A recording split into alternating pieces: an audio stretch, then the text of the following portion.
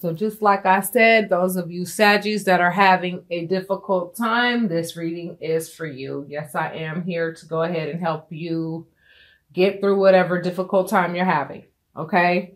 Clearly we see the tower and we see the 10 of swords. Okay. That clearly talks about betrayal. It talks about a relationship that is basically falling apart. Okay. It's falling apart.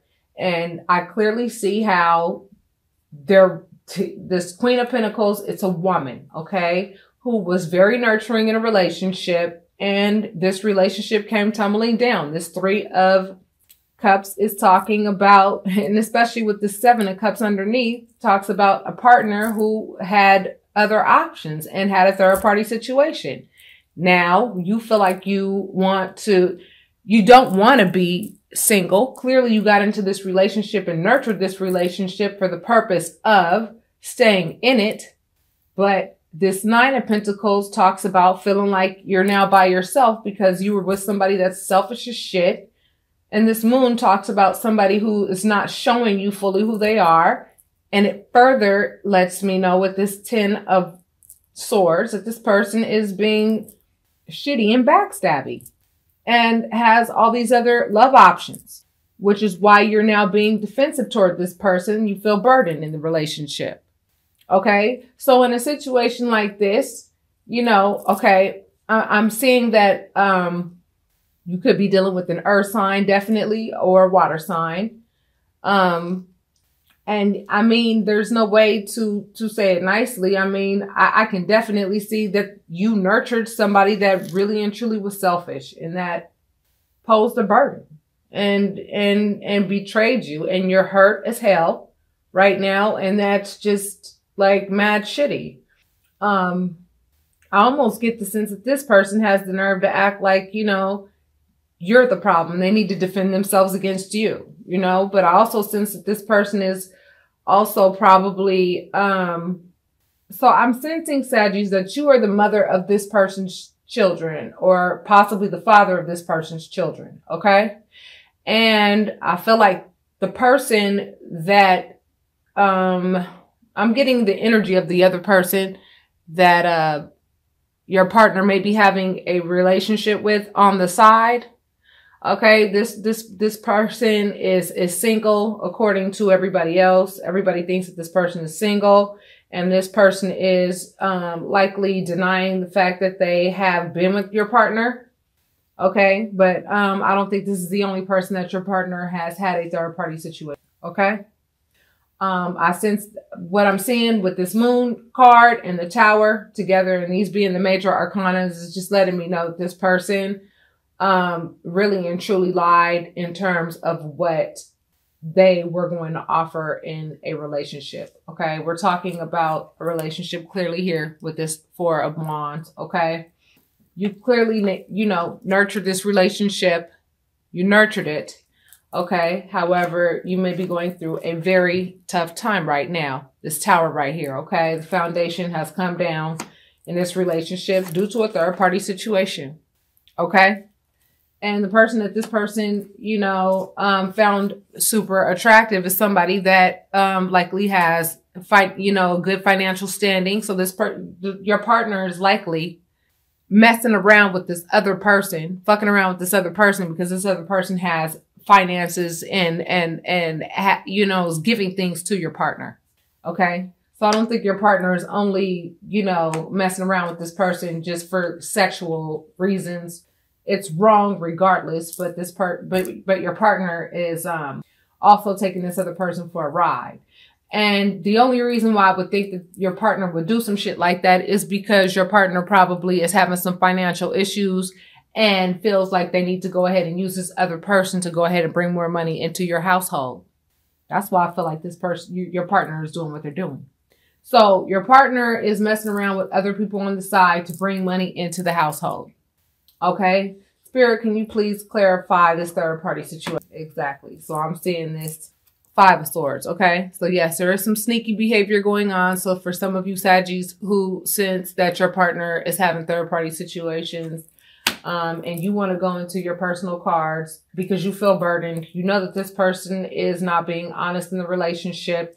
you would rather this person, your partner, go ahead and just keep it real with you and let you know that there are some financial difficulties in the relationship. Your partner does not want to tell you the truth about the fact that they're broke or they're having some financial problems. So what they're doing is they're going and messing with women on the side who have money so that they can bring it into the household to you.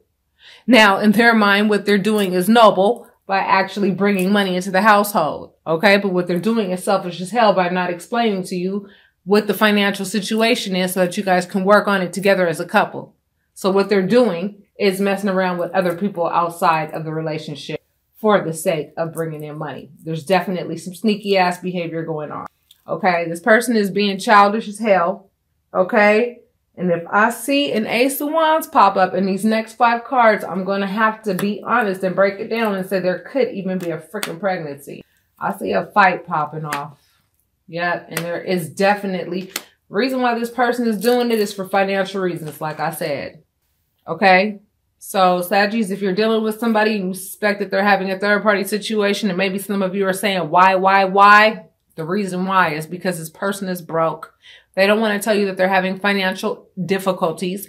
And as a result, they want to go ahead and, you know, have little sugar mamas and shit on the side, sugar daddies on the side, so that they can go ahead and make it look like they are financially stable. What they're doing is very immature, creating conflict in the household. Okay. This talks about conflict. And then right here, this talks about, you know, your partner stepping out, going out in a different direction, turning their back on you and doing other things, you know, when you're unaware, when you're at work, when they have the opportunity to, when they know they can get away with it, right? They go off into the distance and go do their thing. This card right here lets me know that it could be a Leo or a fire sign that you're dealing with, okay? Um, like yourself. Um, Spirit, can you let me know why, if there's any other messages that you have for Sagittarius, is there any advice at the end? What is it that you would like for? What is the lesson that you have for okay so the emperor like i said okay so Saggies, this could be um, the father of your children, or this could be someone that um, is trying to portray that they could take care of the household. They really can't, and what they're trying to do is, you know, they they they love you, they care about you, but they know that they can't provide for you like you want them. Okay, and that's an issue for them. That that that's something that um that bothers them that they don't know how to communicate with you. Okay? When it comes to communication, they're shitty at communication. They don't know how to communicate with you regarding what it is, you know, that's going on in the relationship. They don't know how to be honest at all. They don't know how to communicate that they're broke. Okay? So you might want to ask them about that. Okay? This further reiterates that it's a fire sign that you're dealing with. Okay? You're dealing with a the, the third party is a third is, is a fire sign, or you may also be dealing with a fire sign. A lot of um, fire energy on the table. Okay. So if you want to go deeper into your story and you want confirmation with regards to what's going on in your particular situation in detail, and you want to know for sure, you know, if your partner is having third party situations or why the foundation of your relationship is falling apart if you want to know if you're you know how deep this relationship is with this other person if you want to know if your partner actually has feelings for this person or if this person you understand what i'm saying? Because there no relationship is perfect. And what i'm starting to notice in readings and what i'm starting to notice with my private readings that I do with people, you know, I don't always want to just jump to the conclusion to end the relationship with with with your partner. Okay?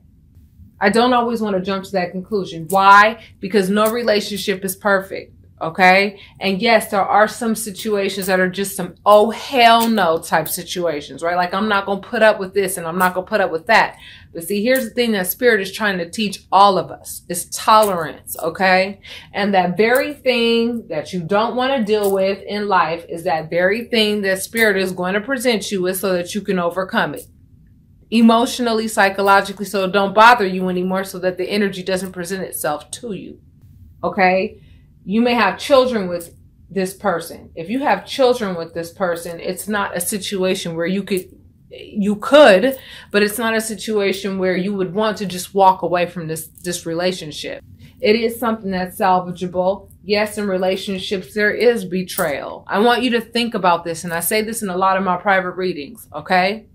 There's no way that you could be with somebody for 70, 80 years. You know, you see these old couples that stay together for all these years. Do you honestly think that in that relationship there was no infidelity at one time?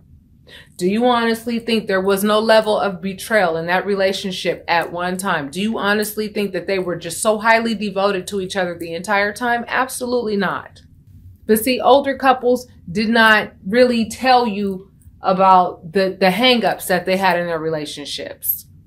Okay, relationships comes with come with their ups and downs, and that's why I do private readings with people because in some situations when I talk to some people, there is a just a, oh hell no this person is deliberately stepping on your heart and not giving a shit about your feelings. And then there are times where i do you know where i have to listen to your situation and, and i can tell that the other party is broken. The other party does not know how to tell you that they're having financial difficulties. The other party is having you know it, it, it's not that they don't love you. They don't know how they're they're learning how to love you. They're trying to and and but they don't know how. And those are the relationships that actually are salvageable because the other party does love you however the other party may have sat and watched their parents sit and be unfaithful to their mother or father for year upon year upon year and that's what they think relationships are about and you may be the very person that will show them that that's not how it goes, right? And it depends on the way that you guys communicate in that relationship. And that's what my re- readings are based on. A, I pull out the cards and let you know what I see. Okay. And then B, I give you the advice that spirit tells me to give you. I'm just the vessel. I'm the middleman. Okay. The way that we learn about life is through relationships. So for some of you Saggies who are feeling burdened because you don't feel that your partner is being faithful, and you want to get a private reading because you're, the other party, you suspect that the other party can't pay the bills and they're unable to pay. Here's one way that you know they're unable to pay the bills on time. If they can't pay the bills on time, but they eventually are able to pay them, but and the other party is not home when they're supposed to be, you know the other party doesn't have a job, but hell, they ain't never home. You know something's not right. You don't know why they're doing what they're doing you're, you want to know why or if you should stay and whatnot. Those are the types of people that need to get readings. Those are the types of people that need to book their readings, right? Because you're going through a very, you're, you're having a spiritual moment. You're having, you're, you're realizing that there's a lesson that needs to be learned through the relationship. There's love involved, right? The other party wants to be the provider. The other person wants to provide for you. And the way that they're going about it is absolutely asshole backwards, but they do love you. They're going about it in a very immature manner, right? This is immature love right here, a page of cup. But they're trying to act like, you know, Big Daddy Kane, right? Because they don't know how to be faithful. They don't know how to be committed. They don't know how to have a healthy foundation when it's commitment and love. All right. You've nurtured this relationship and they know it. They know it. And so, and they want to be with you. But the problem is, this is how they go about taking care of you. Okay. A, it feeds their ego. And B, that's how they were taught how to go about relationships. So for those of you who want to know if this is something that is salvageable or something that they need to just go ahead and walk away from because it's just deliberate disrespect or if it's a matter of your partner learning how to learn how to love through communication, if it's salvageable or not, go ahead, book your private readings so that we could talk about it. Okay. Some of you actually have, you know, years with this person, regardless if you think you do or you don't. It might be a different person that you get in a relationship with in the same damn lesson. Some of you need to realize that, you know, in some of your relationships, you're, you're, it's like you, there are similarities with the people that you get with. Everybody that you get with, they cheat on you. Or everybody that you get with, they can't pay the bills. Or everybody that you get with, they're never home. They're not cheating, but, you know, or everybody that you get with, there's, there's these similarities. And so you have to understand you're the common denominator in that lesson. As soon as you learn that lesson, you won't have to deal with that anymore. So if you notice that pattern, book your private readings, loves. All right, Saggies, that's what's up for February. Unfortunately, some of you are feeling burdened because your partner is just um, being sneaky, not being honest, going away from the town, right? Look at this person far away from town, doing what they think is valuable, right?